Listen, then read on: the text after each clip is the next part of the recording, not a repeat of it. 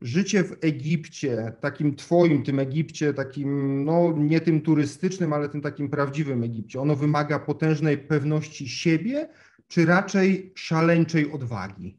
Wiele osób mówi mi o ranę, ale ty jesteś e, odważny, że podróżujesz po Afryce, tak? No bo Egipt to tylko miejsce aktualnego mojego miejsca e, zamieszkania, natomiast gdzieś tam Afrykę zwiedzam, e, staram się zwiedzać i podróżować szerzej.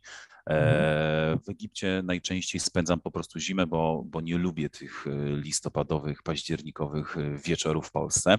Natomiast już skupiając się na konkretnej odpowiedzi Twojego pytania, nie, ja ani nie jestem jakoś specjalnie odważny, ani nie jestem szaleńczy, odważny. Wręcz bym powiedział, że mm, zawsze miałem siebie za raczej takiego troszeczkę y, strach, raczej za strachliwą osobę. Natomiast y, myślę, że wszystko wynika z kwestii zebranego doświadczenia i wiedzy.